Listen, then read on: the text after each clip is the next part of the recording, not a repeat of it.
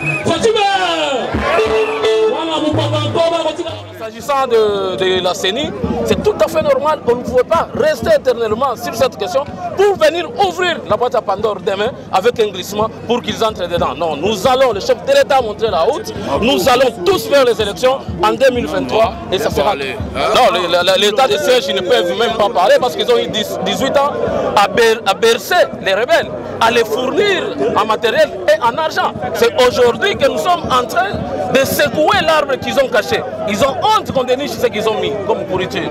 Donc ils doivent, sur l'état de siège, ils doivent se taire et se taire à jamais parce que c'est eux qui ont formé toutes ces rébellions que nous connaissons. Mais pour nous, ce n'est que réitéré. Nous étions les premiers en 2018 à dire que c'était notre candidat et aujourd'hui, haut et fort, je réclame, Fachi est et restera notre candidat Ali Debes Kibasa.